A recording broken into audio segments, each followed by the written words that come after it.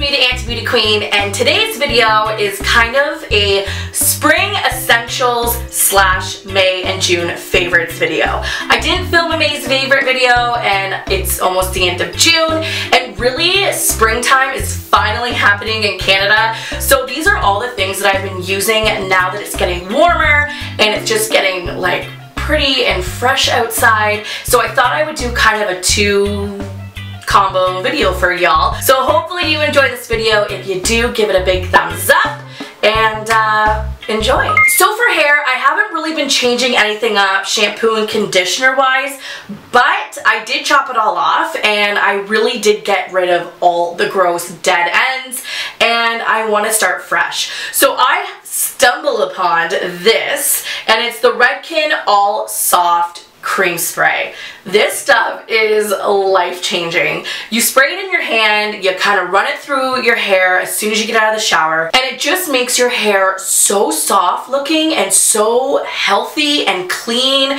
and just beautiful and it was $20 so a little pricey but so worth it I've been using it every day because even when I don't wash my hair that day, I still spray this on, brush it out, and honestly, like right now, I just have it in a bun, really, and it still looks so clean and so healthy. Moving on to body, this is also one of my favorite scents for the springtime. If you've watched my videos in the past, you know I always, always, always, always contribute my body lotion, my body wash to the season. And spring is no different. I always want to smell like roses, a garden, anything that's blooming in the springtime because it's still hot enough that you know, you can smell like a tropical breeze if you want, but it's not hot enough that if your scents are pretty overpowering, you're not gonna offend anybody if you sweat. So that is why I've been obsessed with this Gardenia and Fresh Rain body wash from Bath & Body Works. This stuff, I'm almost done it. I started it in the middle of May. I love it. It is the best smell I think I've ever smelled. And to be honest, it smells like those retro Herbal Essence shampoo and conditioners where it was like that really floral scent. It takes me back to like the seventh grade. I love it. I'm probably to repurchase this just because I don't even think they sell this in a candle. If they do, please, for the love of all things holy, let me know in the comments below because I will for sure go out and buy that candle. Love it, love it, love it definitely recommend this for the springtime. For face, I have a lot of new products that I can't wait to share with you, and they have been products that range from a little pricey to drugstore, which one is like $3, and I swear by it.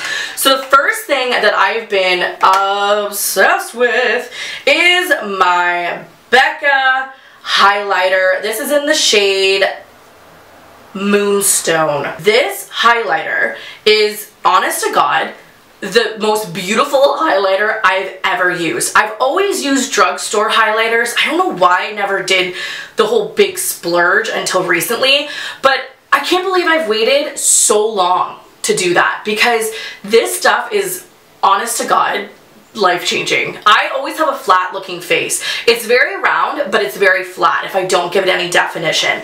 I put this on my cheekbones, my forehead, my nose, my chin, my whole body. I would bathe in this if I could, and everyone knows about Becca highlighters. Everyone has their own favorite shade. Mine is Moonstone. I will never, ever, ever buy anything else now that I've finally made the splurge to get this. Uh, pricey, well worth it. And I always use it with my Sephora little duster brush. This is number 65. And if you don't have, what is this even called? I just call it like the fluffer because that's what it is.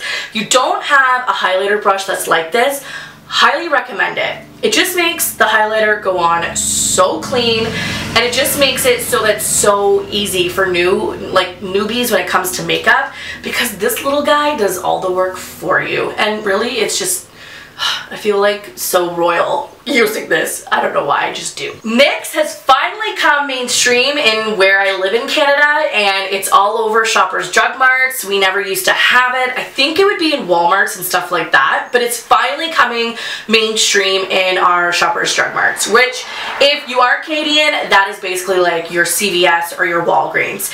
And this I have heard about the two things that I always hear about NYX is the NYX Chunky Jumbo White Liner Pencil and the NYX finishing sprays. So I used up all my Urban Decay, Decay Slick stuff, which I loved, but I didn't really want to go out and spend that much. I saw this for $10. I was like, okay, now is the time. This stuff is, dare I say, better than my Urban Decay De-Slick Spray or whatever it's called. This was $10 and it does the trick. I've been going to a lot of like bachelorette parties, wedding showers, all my friends are getting married this summer and um, it's been getting really, really warm in Canada. And I put this on, my whole body sweats from like here down, but my face stays completely matte. It does not let my makeup run at all. I actually went into the pool and my full face of makeup was still staying strong after getting out of the pool.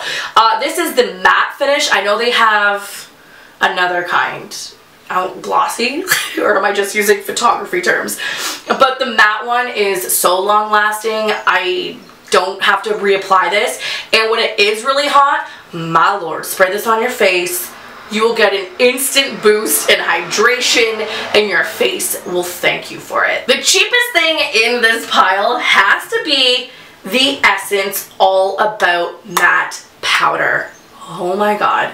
If you do not know what Essence is, it is the best makeup brand for anybody who's on a budget. And the stuff is just good quality. I got this finishing powder for $3.99 at Shoppers Drug Mart. Our Shoppers Drug Marts carry all of the Essence uh, line. They always come out with like a new line catered to spring, summer, fall, winter, and it's always such good quality makeup. This is no exception. This stuff is a perfect under eye setting powder. It goes on really, really white, but when you let it bake into your skin and you brush it off, oh, it lets your skin look matte and no creases all day. It's beautiful.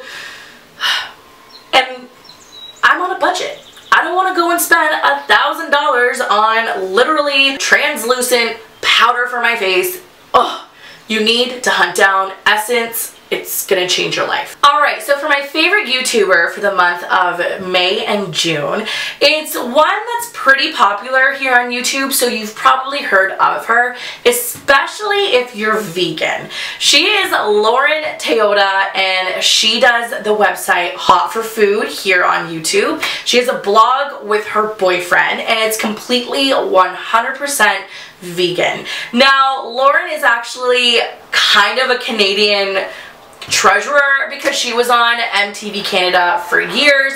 She was the one that would host the before and after show of Degrassi. So if you're Canadian, you probably have seen her on your TV screens at some point. And uh, she's just so down to earth. She and her boyfriend make such amazing food and it's not your typical vegan food. It is so bad for you but so good for you that you probably wouldn't even be aware that you're eating vegan food. And um, I'm not a vegan, but I still love her recipes.